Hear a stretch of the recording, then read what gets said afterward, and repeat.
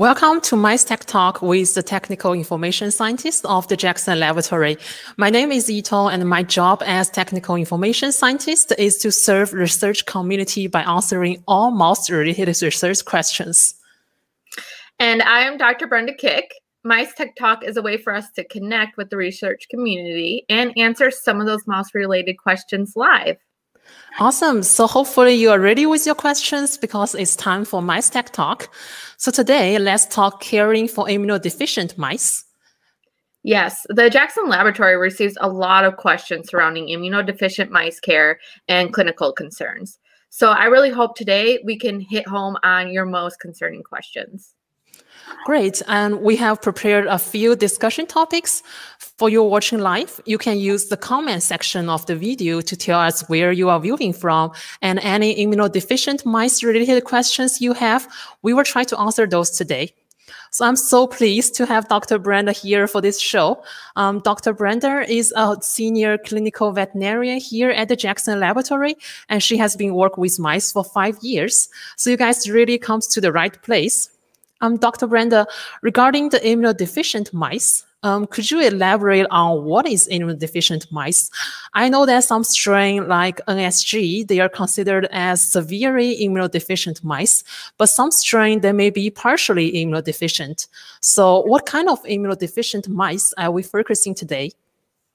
Yes, Yitong, you're right. We do have varying levels of immunodeficiency in the strains here at JAX.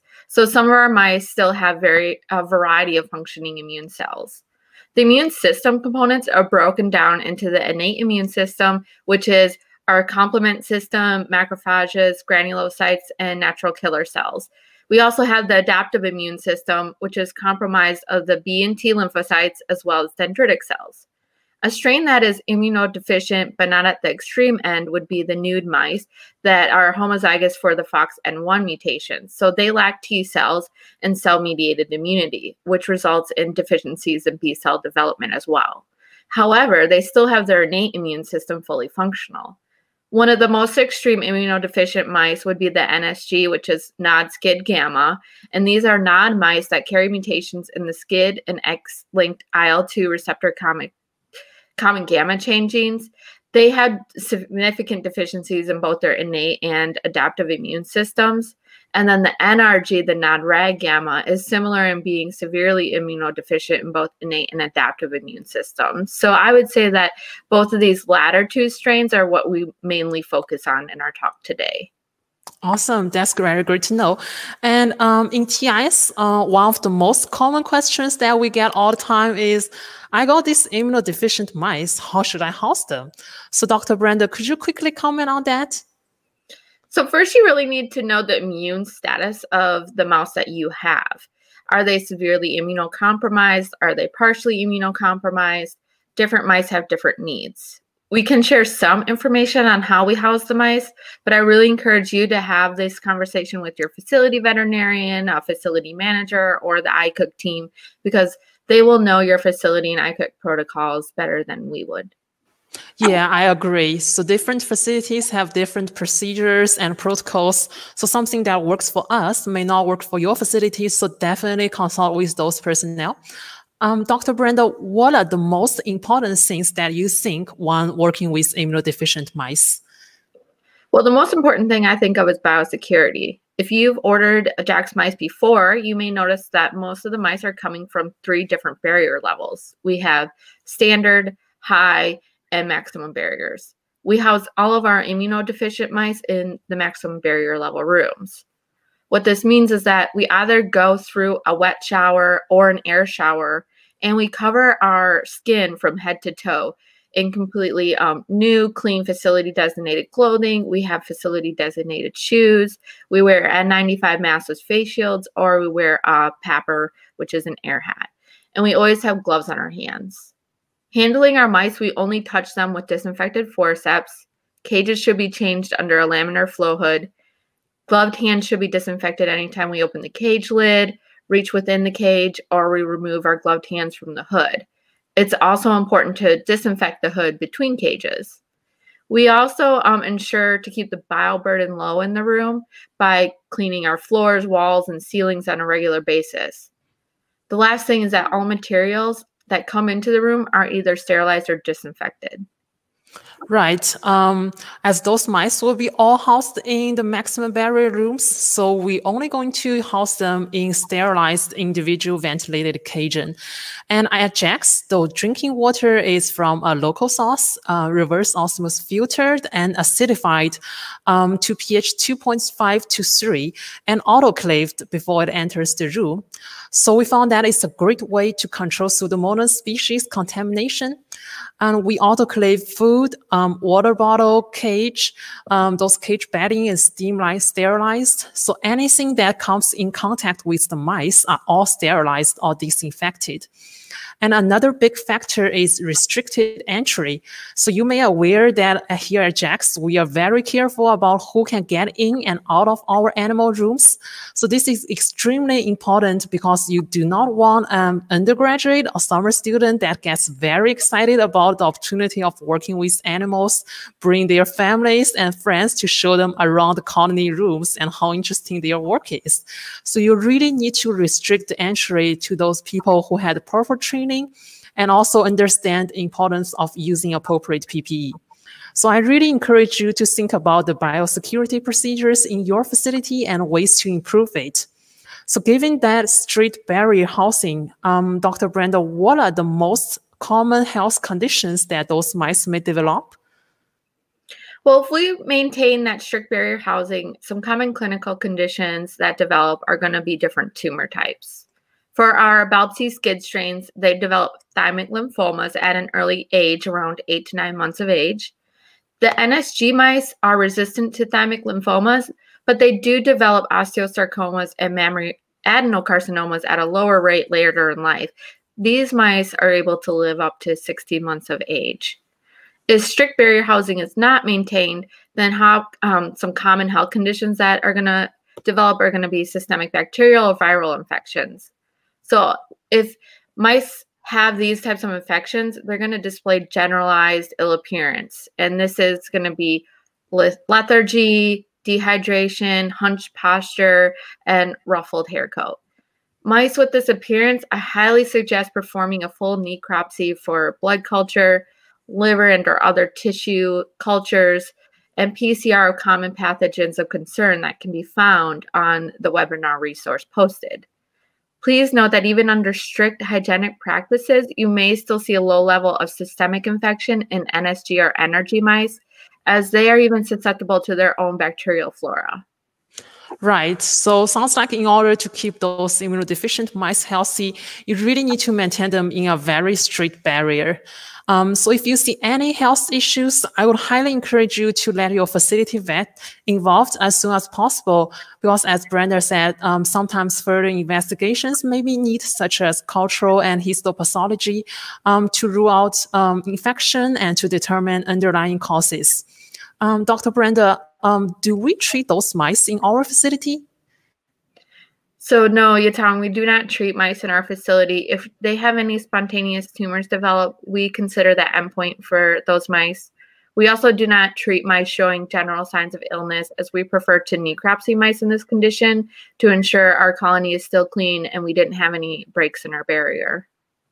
Awesome. Um, I can see here. Uh, hi, Caitlin. Um, it looks like we have uh, uh, uh, like audience calling from Bar Harbor, and thank you for joining us. Uh, looks like we have a question coming in. Um, so uh, can we house immunodeficient uh, competent mice with immunodeficient mice together?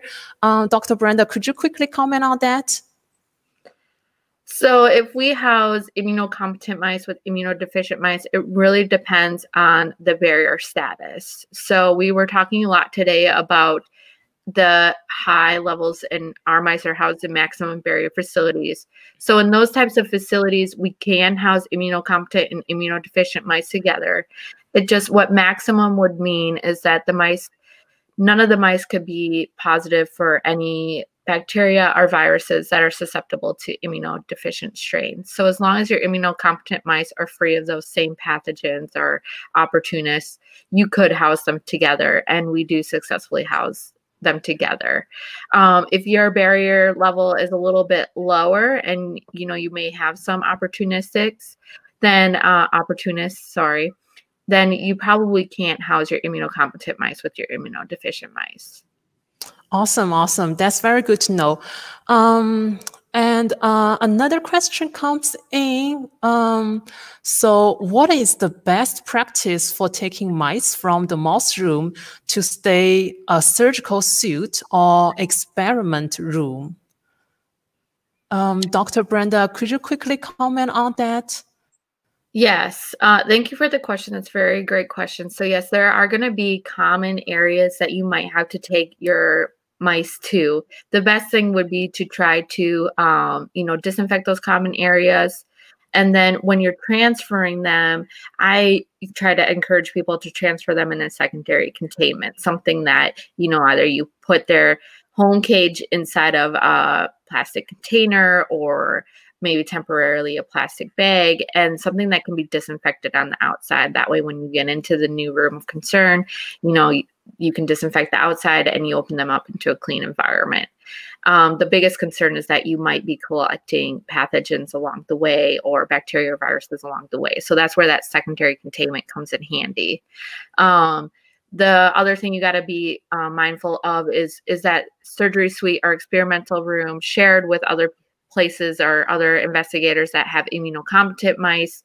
If so, highly encourage you to disinfect all surfaces that your mice will be touching so that way you decrease the bio burden on those surfaces. So if it's um, an irradiator, so one common thing that NSG mice have performed on them is irradiation. So if it's an irradiator, you know, disinfect that equipment per manufacturer's protocol so that you can have your mouse in there in a clean environment. Awesome. That's very helpful, Brenda. Um, another question I can see here is um, uh, what is the ideal Sentinel program for immunodeficient mice? So we house immunodeficient and immunocompetent mice within the same cage, and it really allows us to survey our colony more efficiently as our immunodeficient mice will become sick with pathogens that show no signs in immunocompetent mice. And our immunocompetent mice are going to seroconvert, so it will allow us to perform any mouse antibody tests. Great. Um, uh, we still have another question regarding enrichment. So, um, do immunodeficient mice need additional enrichment, or it's uh, strain dependent? I guess. Yes, enrichment is strain dependent. One thing we have found here at JAX is that the same enrichment does not necessarily equate to the same benefit to all of our strains. One thing of note here is our NSG strain. All of our all of our breeders are provided with a nestlet and a biodome, which is a cardboard tunnel. And adding this enrichment to the cages has nearly eliminated whisker picking and barbering that we have seen in this strain. Awesome, awesome. So, uh, well, that's all we have time for the questions this week. Uh, we have linked a few resources in the video description. Um, Dr. Brenda, could you quickly comment on those? Yes, can. We have added some really helpful resources for you to delve into this topic further. The first is a blog article on six strategies to successfully manage an immunodeficient colony. Then we also have attached a webinar which goes into more immunodeficient strains than we discussed today. And it includes lists of the common bacterial agents that you want to exclude from your barrier if you house NSG or NRG mice. Then, lastly, we have added a link to a description of our different barrier levels at JAX and what the differences entail. Awesome. And our next Mice Tech Talk is called Let's Talk Cancer Modeling with PDX Mice on December 1st. So we're looking forward to seeing you on LinkedIn and YouTube. This is Yitong saying stay healthy, stay safe, and stay excited about research.